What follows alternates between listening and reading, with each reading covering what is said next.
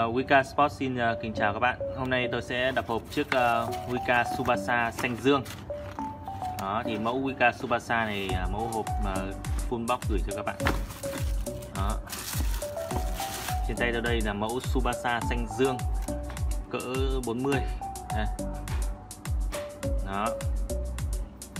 Thì mẫu Subasa xanh dương này nó được uh, nhiều bạn uh, thích hơn bởi vì cái um, cái mu này nó rất là phẳng và nó sút bóng nó không bị là chạch. Đấy. đế cao su, khâu full nhá các bạn nhé. Da này là da microfiber. Cái công nghệ da là, trong tương lai nó sẽ thay thế da thật các bác nhé.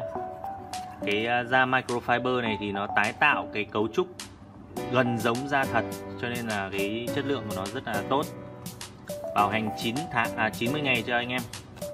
Tức là 3 tháng nhá, đây là thể bảo hành luôn này. Đó. Cái mẫu này thì nó có cổ chun thấp. Nó không giống như à, Wika Super Speed, cái à, cổ chun nó cao, nó hơi kén người đi một chút. Bởi vì à, nhiều bác nhiều bạn thì hơi lười đi, cho nên là cái đôi này thì nó sẽ vừa bảo vệ được cái cái cái mắt cá chân. Đó. không bị chệch khớp. Đó. Đế lót là đế ờ, EVA carbon. Rất là êm. Đây tôi sẽ kể cho các bạn.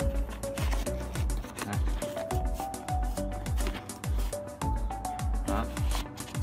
Miếng lót êm.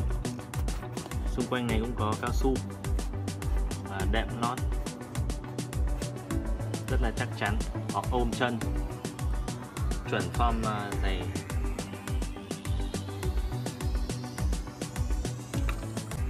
để hàng sản phẩm này thì các bạn có thể truy cập vào wikasport.com để tham khảo chi tiết về sản phẩm hoặc click vào link bên dưới mô tả video để chúng ta thể tham khảo thêm chi tiết sản phẩm.